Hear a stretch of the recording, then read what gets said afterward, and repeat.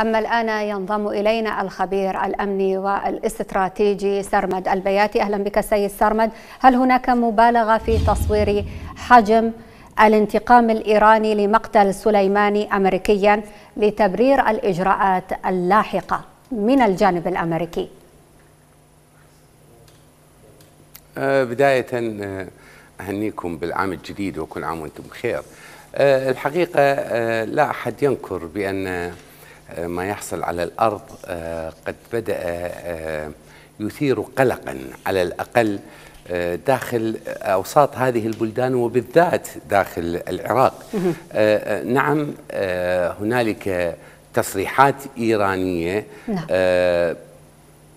ترفع ترفع من مستوى التصعيد لكنني لا أتوقعها جدية يعني بالوقت الحاضر لأنه إيران تريد أن تدفع بال بال بالوقت آه، تنتظر أن يمر الوقت آه، هذه الثلاث أسابيع من أجل أن يستلم بايدن عسى أن يرفع عنهم جزء من الحصار أو يعيدهم إلى الاتفاق النووي، لكن مع ذلك تصريحاتهم يوم أمس بأننا سنقطع الأيدي والأرجل نعم. وهذا الكلام اللي سمعناه يعني من نعم. روحاني وغيره آه، ربما تثير التصعيد، في نفس الوقت يعني الولايات المتحدة آه، أيضا آه، إرسالها للبي 52 إتش وإرسالها لحاملتين طائرات وغواصه ربما تحمل آه، هذه المجموعة من الصواريخ التوماهوك. حقيقه ناهيك عن 30 مدرعة. مخاوف الكثير. ناهيك عن 30 مدرعة لحماية المنطقة الخضراء.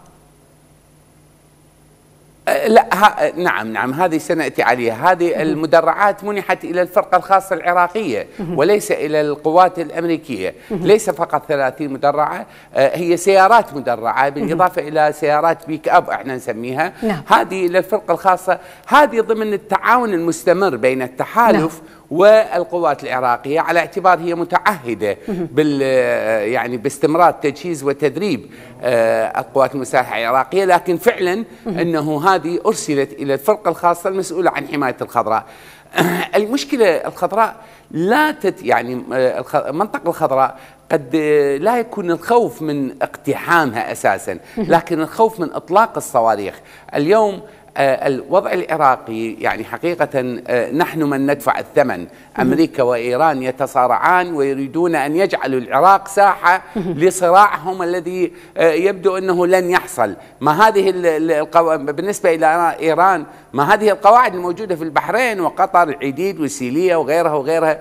ما يقصفوهم يقصفون القواعد الموجودة بالعراق أو السفارة الأمريكية في العراق والنتيجة أنه كل ال ال ال ال البلاء هذا يقع على رؤوس العراقيين الذين يعانون ما يعانوه من انقطاع الكهرباء والوضع الصحي والوضع نعم. الاقتصادي وأخيرا الوضع الأمني الذي يبدو أنهم آه، لا يريدون للعراق آه، استقرارا طيب الرغبة الامريكيه سواء إيران أو سواء أمريكا نعم الرغبة الأمريكية هل تذهب باتجاه نعم. توجيه ضربة لما يوصفون بوكلاء إيران في العراق خاصة يعني في ظل ما أدلت به البنتاغون أخيرا فصائل عراقية تدعمها إيران بالمال والسلاح اجتمعت بقادة من آه، فيلق القدس الإيراني